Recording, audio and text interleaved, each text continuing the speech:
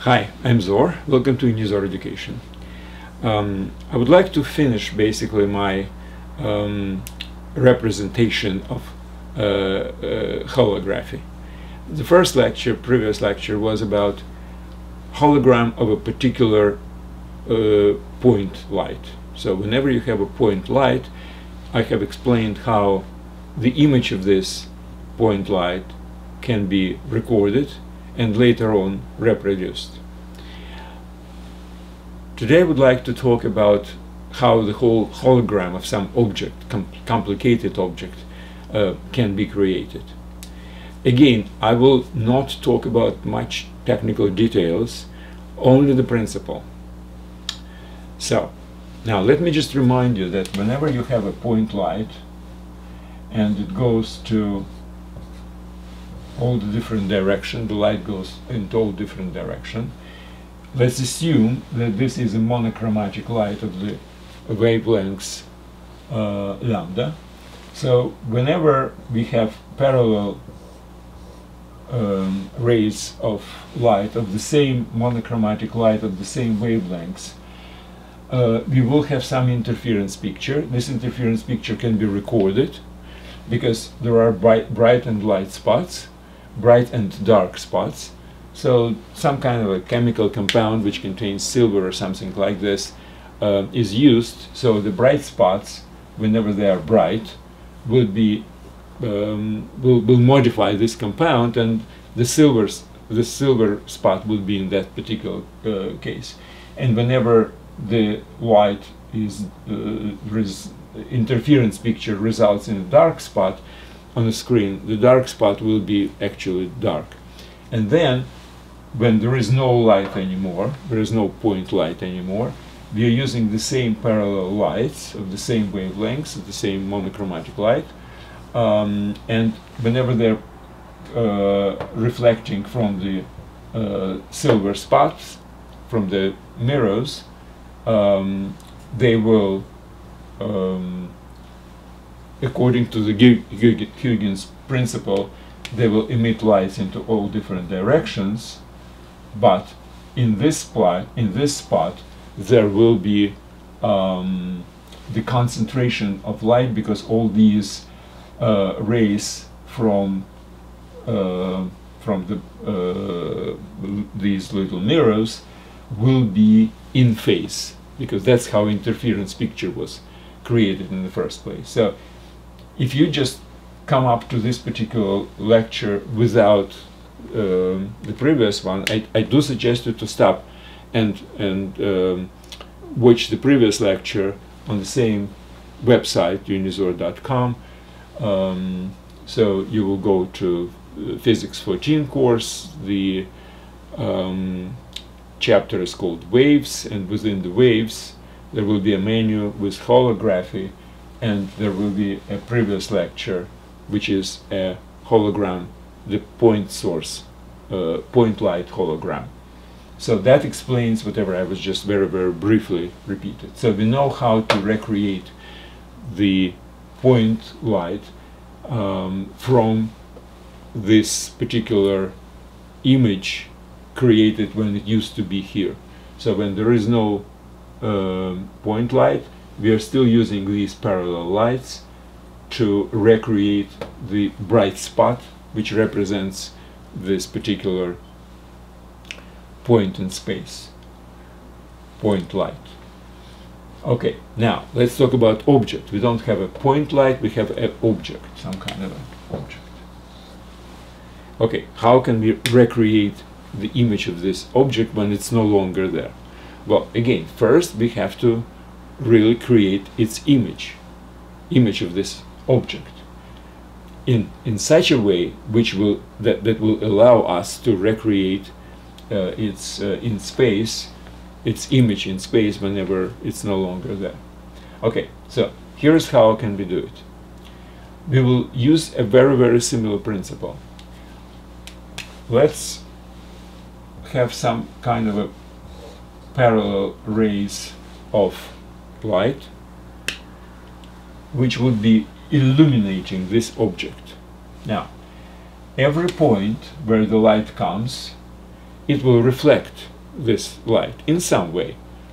Some brighter, some darker, and reflection again will be in all the different points. From each point, the reflected light will go into all different directions. So, every one of these points can now be considered as a point light.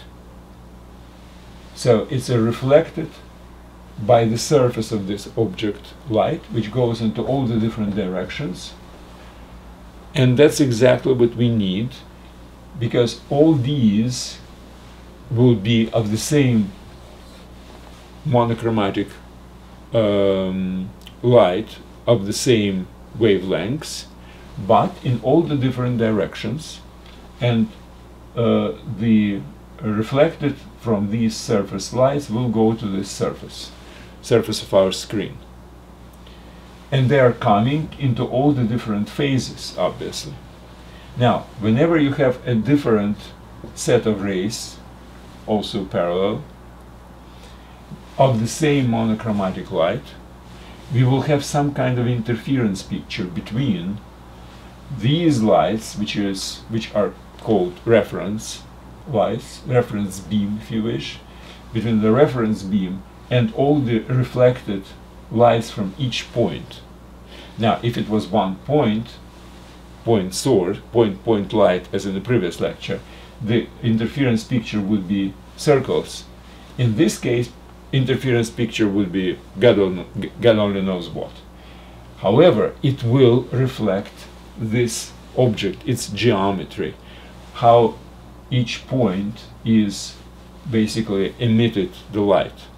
So, this screen will contain a picture of each particular point source as some kind of an interference picture between reflected from this from this point light and the parallel reference beam.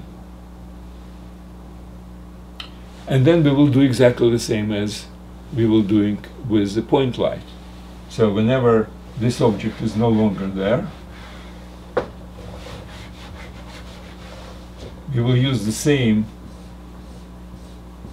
reference beam. It will reflect from little mirrors which we have created during the creation of the image of the object. In the first stage, it will reflect, and again, exactly as it was in the previous lecture, every point light, every point light would be recreated in space exactly where it was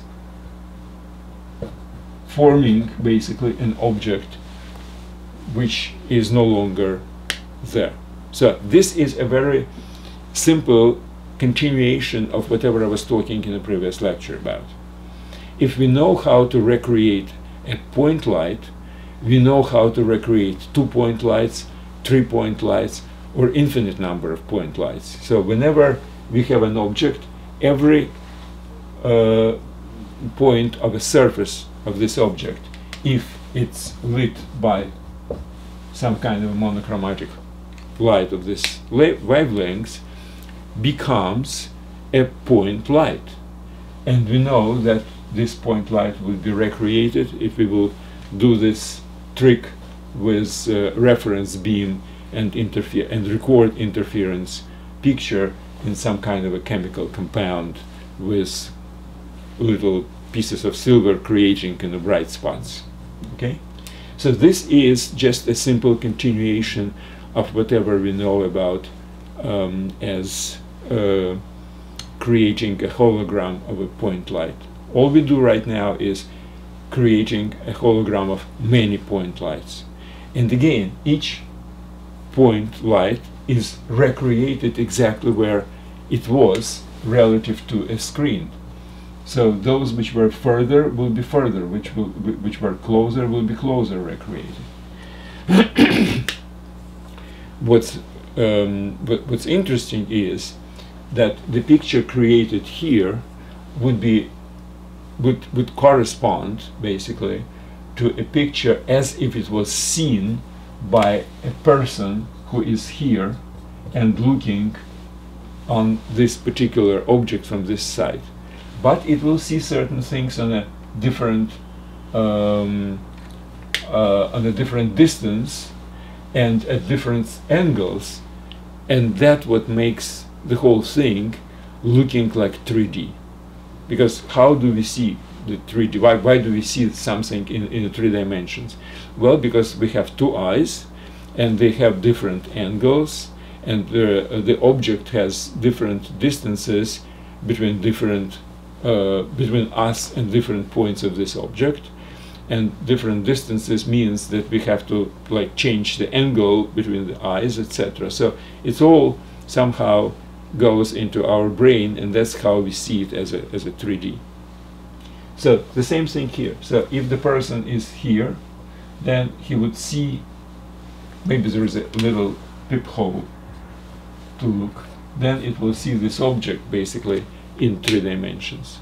All because every point of that source, when illuminated by illuminating beam, it's called illuminating beam. So every point of the sur surface of this object becomes a point light. And then we are recreating this point light using exactly the same technique as I was explaining in the previous lecture. so why don't you read the description uh, of this lecture, textual description. Um, so um, that might actually make the whole thing a little bit better. I did not go into any technical details about this like what exactly kind of com compound is used to to to, rec to to record the interference picture as as a photograph basically. Um, but you, you understand that whatever you see here will have nothing to do with the photograph because photograph is actually whenever if you have an object you have photo camera here so all lights go through the lens and then to some kind of a either memory chip or or some kind of photographic um, photographic equipment or whatever. So that's why everything is seen from one point.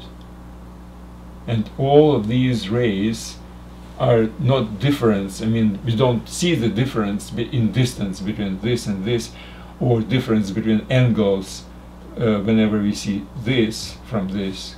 The same thing would be. But here, this thing is actually reflecting the distance of every point.